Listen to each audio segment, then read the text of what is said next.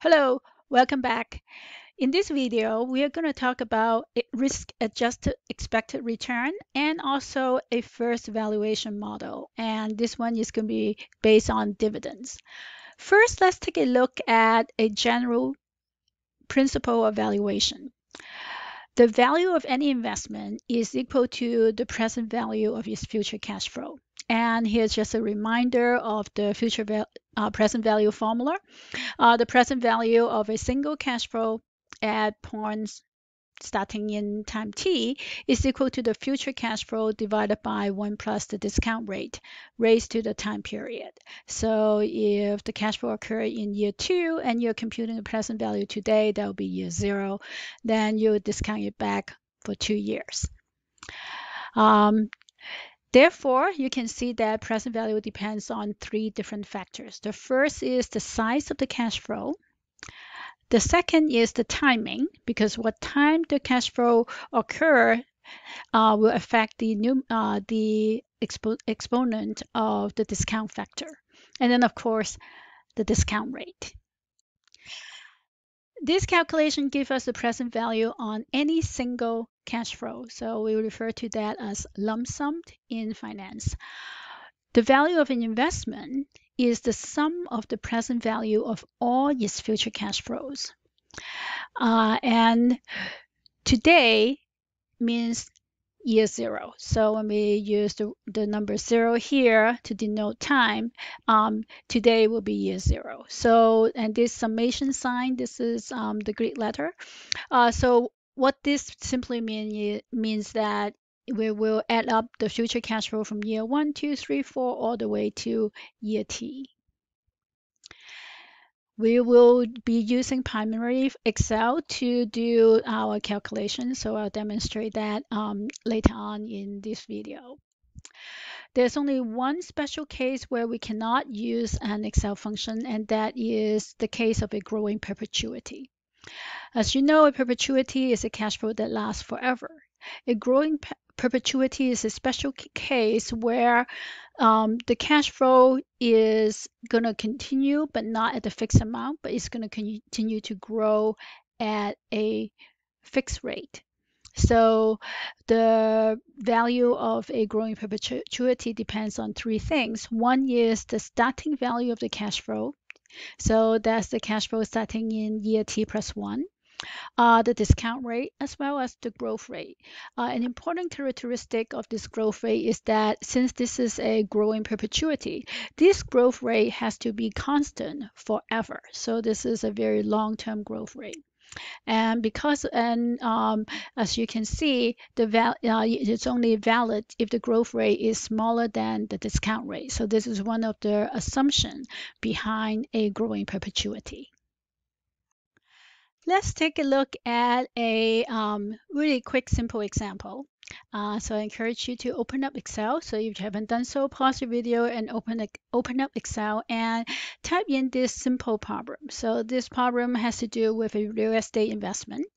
We assume that it will cost us $180,000 to buy this um, this house, this property. It will cost um, $75,000 to remodel it in year one and then you expect to be able to sell it in year two for $275,000. And initially, we're not going to borrow any money, so the discount rate and the discount rate is 10%. First, we're going to put the cash flow uh, um, from this property into um, is per year. So this is year zero.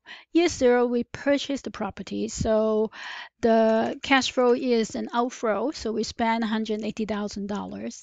And year one, we also this is also an outflow. We spend $75,000. And then in year two, we sell the property, so we get a positive cash flow of $275,000. Now, if you ignore the time value of money, um, then you will simply add up all the cash flow and you will conclude that you make $20,000 on this investment.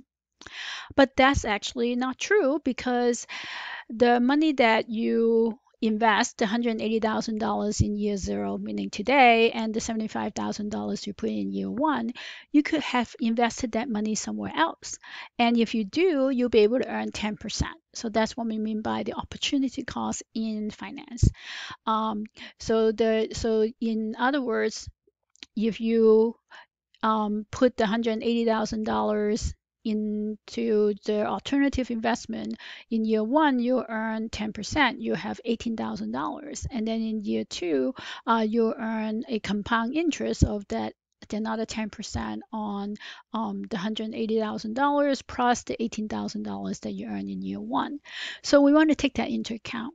And the way we do it is we compute the present value of future cash flow. So in this case, it's a little bit interesting because year one, the cash flow is still negative, but it doesn't change our um, calculation. So the function we use is NPV, as we had mentioned before. So the net present value function has two arguments. The first is the interest rate. So for us, that will be the 10%. And then the second is the value. And something very important, this is value starting in year one. So you can see, um, so the value is contained in the cash flows in year one and year two for this particular project. So our conclusion is that the present value of future cash flow is $159,000. So what is your profit?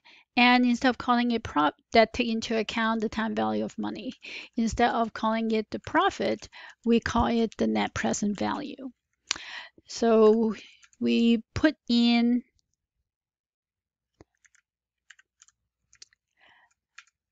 $18,000, $180,000, and we get back in present value term 159,000. So we actually has a negative net present value, which means that this investment is not worth the $180,000. This investment is worth $159,000. And if it costs us $180,000 to purchase an investment that's only worth of value at $159,000, of course, that is not a good investment. Let's take a look at this um, opportunity cost from a different perspective. Uh, remember we said that 10% is the opportunity cost. So let's say um, you can put this in a mutual fund. And uh, this is a real estate mutual fund, and you will be able to earn 10% on this mutual fund. You're going to put in the investment the same as you would um, in this real estate project. So in year zero, let me just copy this down, much easier. Okay, so in year zero, there's no beginning balance. Uh, the investment in year zero is $180,000. Um, since we just put this in, um, we don't have any return, and the ending balance is simply the sum of beginning balance, investment, and return. And then the next year, we do the same thing. This is a very common um, accounting setup. So the beginning balance of year one is the ending balance of year zero. And in year one, our investment is $75,000. Our return is our last year's ending balance, right, times the 10%. So we'll earn $18,000. And now we have an ending balance of $273,000. Um, so the same thing happened in year two. We can just copy this over. So in year two, we don't have any investment, right? Um, but we will still earn 10%. So, and our ending balance at the end of year two will have been $300,300. But if we were to buy this property, we're only going to get $275,000. So this this illustrated that if I have $180,000 to invest in today and $75,000 invest in year one with an opportunity cost of 10%, I should get $300,000 and 300,000 uh, $300, but this property is gonna is not gonna get that much. So it's not is it doesn't pay for our opportunity cost. So you can you can um, see where the discount rate, the time value of money comes in. If you ignore the time value of money um, in this analysis, you will conclude that this is a profitable investment. But if you take into account the time value of money of 10%, then this is not a valuable investment because this investment is only worth $159,000 and the cost is $180,000. So why would you pay some $180,000 for something that is worth or is value only at $159,000? Now let's take a look at the same example, except this time we're going to borrow part of our purchase cost. Um, we're still going to put in the remodeling without borrowing, but the initial purchase, we can get a, mortgage. So we assume that we're going to borrow 40% and the interest rate is 6%. Um, interest expense is, we assume, is tax deductible. And now the discount rate is a little bit higher, it's 12%, because when you use leverage, that increases the risk of the firm. So um, a higher risk will require a higher um, required return. First, let's take a look at how much we'll be borrowing. Um, we're going to borrow 40% of our purchase price. So we're going to borrow 40% of $180,000. And the remaining, we're going to come up with on our own. So that's going to be our equity investment. Okay, so we're still buying a piece of property for $180,000.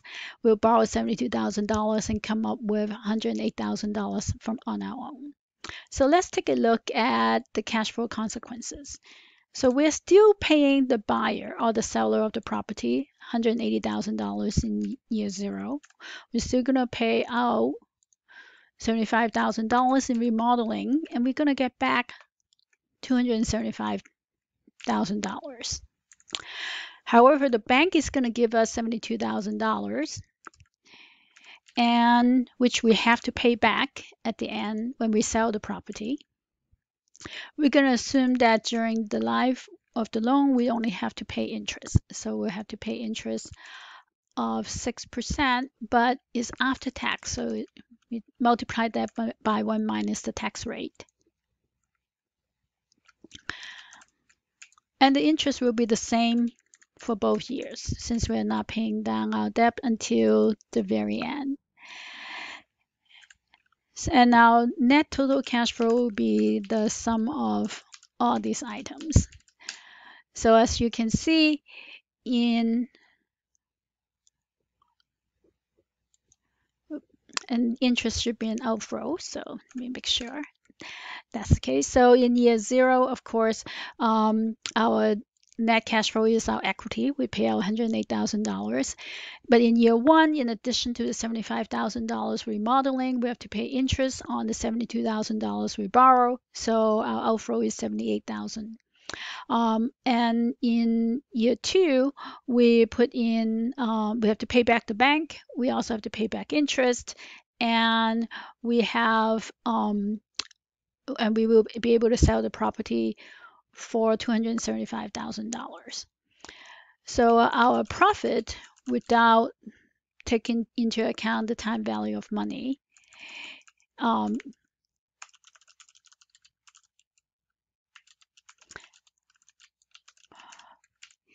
is the sum of these three. So that's our net cash flow. So we still make money. We still make $13,952 if we ignore the time value of money. But how much is this property actually worth? So let's compute that. Let's compute the value of this property. Remember, we can use the NPV function. And the first argument is the discount rate. The discount rate now is 12%. And our cash flow in year one is negative 78,000 and cash flow in year two is 199,000. So it turns out that our investment is worth $89,000. And now we're going to compare it to the 108,000 because this is what how much we're putting in as equity. So it is still not valuable because we're getting something that's worth 89,000 even though now it doesn't cost us 180 it only costs us 108,000 um, in fact you can once again subtract the difference between the two and it still is negative by $18,000 so this is very interesting by borrowing money we can actually reduce the the negative, but it's still not enough to compensate for uh, the opportunity cost of 12%. These two examples illustrate the importance of taking into account the time value of money or the opportunity cost of money. And also show you how to use the net present value in Excel to help us compute uh, the discount future cash flow to compute the present value of future cash flows. Future cash flows are obviously very important. So what are future cash flows for investment? Let's take a look at a uh, the easiest uh, type of investments, which are bonds. These are the easiest because bond contracts typically are very specific. So when you purchase a bond or when a company issue bonds, um, they specify what the interest rate is. Um, we refer to that as coupon. Um, so Usually this is paid on a semi-annual basis and based on the coupon rate and the par value of the bond, you figure out um, how much interest, coupon interest you have to pay and you have to pay that on a regular basis. The coupon payment days once uh, also is specified in the bond contract, and you have to pay back the par value at maturity, which is also stated in the bond contract. So there are two types of cash flows for uh, for bonds. Um, the first is the coupon, and then the second is or the interest. The second is the par value. So you have two types of cash flow. You know the timing of the cash flow. Again, those are specified in the contract. Um, it's very easy to, to determine. So bond is usually the first um, element that we introduce in um, investment valuation. But what about stocks and other types of investments? The cash flows for stocks and other real investments a little bit more complicated. First of all, there are typically no contracts to tell you exactly how much you'll get back when you purchase a stock or when you open a business or invest in a, uh, a, a, a uh, in a business partnership. So those are estimates only. The other um, interesting challenge is that we have this going concern assumption. For bond in the bond contract, we know how much we're going to get back at the end, at maturity date. But for a stock or a business, we assume that the company is going to last, is going to keep going. So there's no end time. And because of this um, going concern assumption, what we what we often do is to use the growing perpetuity um, assumption to summarize all the future cash flows into a single value. So an important assumption to keep in mind when we introduce growing perpetuity is that the growth rate that you use is assumed to last forever. And that's what perpetuity means, perpetual. And this growth rate cannot be greater than the discount rate.